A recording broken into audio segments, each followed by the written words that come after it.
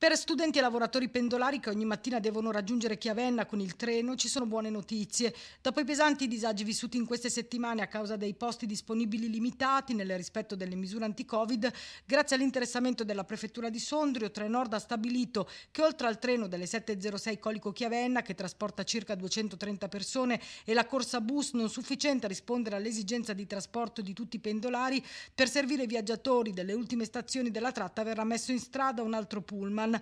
Questa sarà una soluzione temporanea, informa la prefettura secondo quanto spiegato da Trenord. Infatti entro il mese di settembre ci saranno le autorizzazioni per mettere in azione sulla tratta ferroviaria il nuovo treno Donizetti con una capienza di 350 posti.